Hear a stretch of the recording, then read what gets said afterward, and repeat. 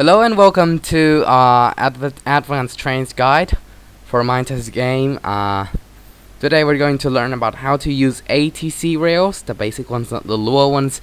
The Lua ones are a bit too hard. Now here we are back and we're quite pretty much a retro world. It's good to see that the torches are back in order. The last time I checked, the torches are all unknown nodes.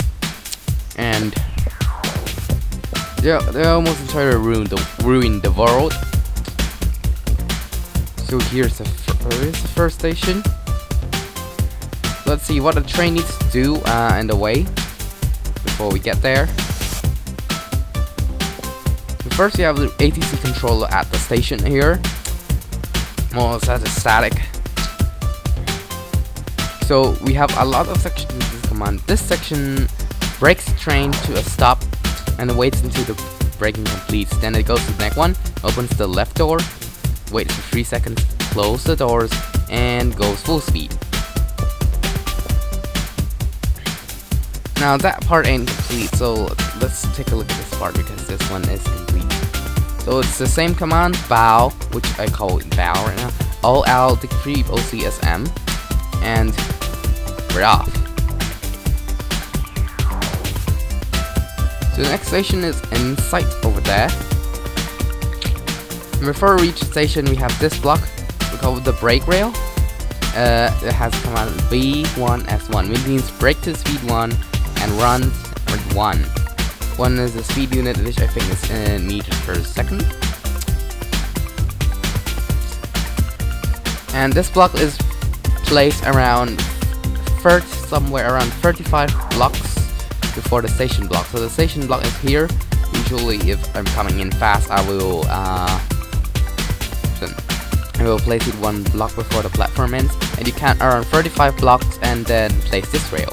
It may be a bit, and the actual value may be a bit longer for straight tracks and a bit shorter for really curvy tracks. Now we're back. Called CSM. Now let's continue through our two stations and see what a train should be doing at the end stations. And in a simple ATC system, the train should have end loops. I'm sorry, end, end loops. Oh, they're in the to torches are still not fixed. Oh yeah, I think the village torches. That the torches place maybe works. Okay, so here's the other platform. Our city. Of course, I'm using MG villages here. This is a really old world. Many things have changed. And we re reach here. Once we open the doors on the right. The doors always open in the direction indicated by the arrow. Uh, so this is uh, what we use as the end loop on cities. The train goes around here and it descends to the top floor. And then we brake and go to the platform and then we can keep going. So that's what an end loop looks like from over there. You have an end loop you can see from uh, that station over there, which is called Inkle, uh, which is uh, like the most compact type of end loop. Let, me show you the other uh, the end loops on the other line. Okay, so here we have a platform, and then we reach there. It's like this is one of the first sections.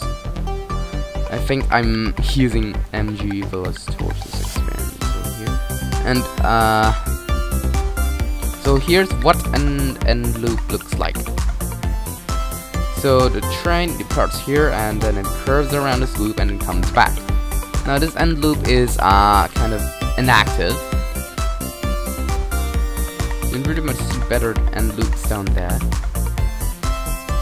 No, this is the old world. I'm not using this anymore. And most of the torches, which are MG Village torches, have been switched to, to no nodes because uh, the MG Village torches are in, in use anymore.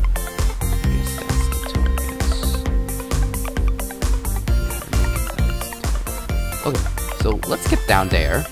Uh, we can, you can see an actual end loop trains faster and no one's infected, which is good. There's Spade and Wood, and you can see the end loop and works over there. Here, the train curves. It starts at this platform, goes around end loop, parks at the platform, and departs. Can't, you can't go through and no notes. Okay. So it's kind of the same. Oh, the train comes. Kind of the same thing. So it's a structure that the train runs around and lets it turn around. So when you have two rails like this, you uh, go like this, or four blocks, and then turn around, and it will go right around, and you can merge it back the same way. It's pretty much symmetric. And so here's a simple guide to how to use the uh, normal ATC rails. In my other world, we have Lua ATC rails, which is much better at keeping the trains in sync. Right now, you can see that the trains are uh, departing and arriving like perfectly. And this system has worked before before we did the transition to ATC uh, Lua ATC rails. One of the minuses of the system is that it does not allow for uh, station names to be printed on the train. That's that's not a very important thing anyway. So by the way, uh, goodbye everyone, and we'll see you again next time. Get off to the next station. Oh my god, the torches ruin everything now.